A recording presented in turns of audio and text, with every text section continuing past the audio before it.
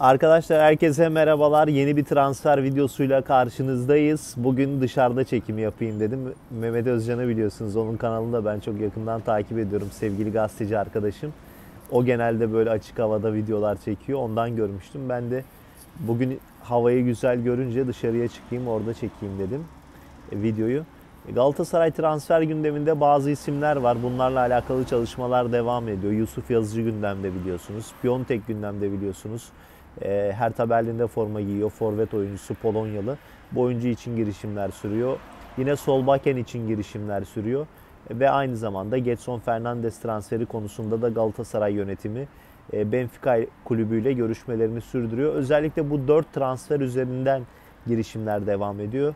Hani devre arasında en fazla Galatasaray'ın yapabileceği transfer sayısı 4 zaten. Bu oyuncuların transferini açıkçası ben bekliyorum. Onun dışında sürpriz isimler olabilir mi? Fırsat transferi olabilir mi? Onu da ilerleyen günlerde göreceğiz zaten.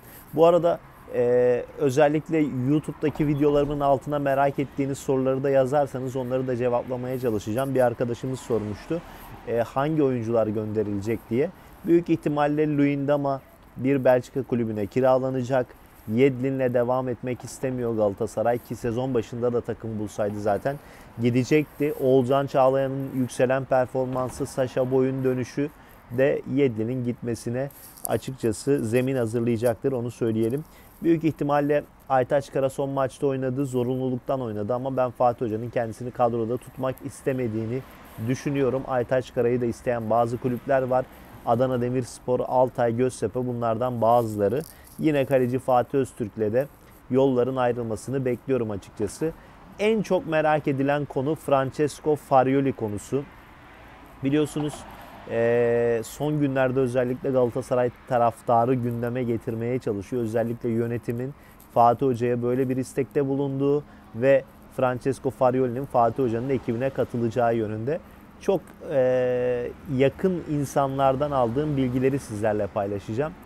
Öncelikle Fatih Hoca'nın böyle bir düşüncesi yok arkadaşlar. Fatih Hoca teknik ekibinin yeterli olduğunu ve takviye yapmayı düşünmediğini daha önce basın toplantılarında da bize dile getirmişti. Hatta sinirlenmişti. Hani teknik ekibin yeterli olduğunu söyleyip hani böyle bir duruma gerek olmadığını söylemişti. Ben özellikle Francesco Farioli ismini sezon başında sormuştum kendisine. Ama e, bu konuyla alakalı da olumsuz bir beyan bildirmişti. Hani e, çok sıcak bakmadığını söylemişti. Francesco Farioli tarafıyla ilgili de şu bilgiyi paylaşayım. İstanbul'da kendisi neredeyse bütün maçları yerinden takip ediyor. Biliyorsunuz Karagümrük'te yolları ayrılmıştı. Ve şu anda boşta. O yüzden e, hani futbolda seven bir insan ve İstanbul'da bütün maçlara gidip izliyor. Benim de zamanım olsa ben de gider izlerim onu söyleyeyim. E, ama şunu söyleyeyim. Kendisi de şu aşamada yardımcı teknik direktörlük yapmayı düşünmüyor arkadaşlar. Yani artık Galatasaray gündeminden bu ismin çıkması gerektiğini düşünüyorum. Çünkü ne Fatih Hoca kendisini istiyor ne de kendisi Fatih Hoca'nın ekibine dahil olmak istiyor, yardımcı teknik direktörlük yapmak istiyor. Yani kendisinin böyle bir düşüncesi yok. Zaten e, şunu söyleyelim 32 yaşında İtalyan e, Sassuolo'da göreve başlamıştı. E, Dezerbi'nin ekibindeydi. E, daha sonra Alanya'ya Çağdaş Atan'ın ekibine katılmıştı ve oradan da Karagümrük'e geçmişti biliyorsunuz. E, o yüzden şunu bir kez daha söyleyeyim sizlere. Kendisi bu saatten sonra ikinci adamlık yapmayı düşünmüyor. Teknik direktör yardımcılığı yapmayı düşünmüyor. E, direkt birinci adam olmak istiyor. Hatta sezon başında İtalya'nın bazı kulüpleriyle görüşme gerçekleştirmişti. İtalya Serie A'da takım alabilecek e, seviyeye gelmiş bir adam. O yüzden ben çok Fatih Hoca'nın ekibine katılabileceğini düşünmüyorum. Bu arada biliyorsunuz Türkiye Kupası'nda Galatasaray Denizli Spor'la karşılaşacak ve e, Fatih Terim'in özellikle Denizli Spor maçına rotasyonlu bir kadroyla çıkmasını bekliyoruz. E, İsmail Çipe son haftalarda süre alan bir isimdi. Savunmada Oğulcan, Işık Kağan, Alparslan, Ömer Bayram. Orta alanda Aytaç, Emre Kılınç. E, İleride de Morutan, Halil ve Barış Alper 11 ile Denizli Spor maçına çıkmasını bekliyoruz Galatasaray'ın. Dediğim gibi rotasyonlu bir kadro olacak.